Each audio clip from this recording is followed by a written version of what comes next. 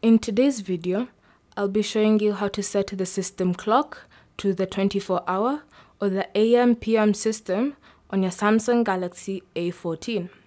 So first, as you can see, my clock is set to the 24 hour, which is 0600 hours.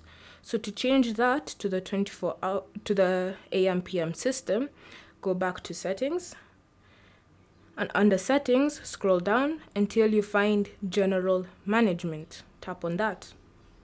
Next scroll down through your general management until you find date and time. Tap on that. And here you should see the option use 24 hour format.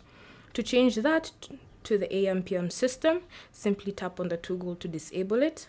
And as you can see my clock now says 6:39 a.m. instead of 0600 hours.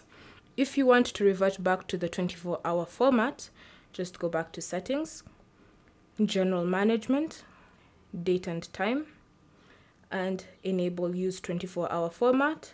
And as you can see, it's gone back to 0600 hours. Thank you for watching. If you have any questions or comments, leave them down below and we'll get back to you.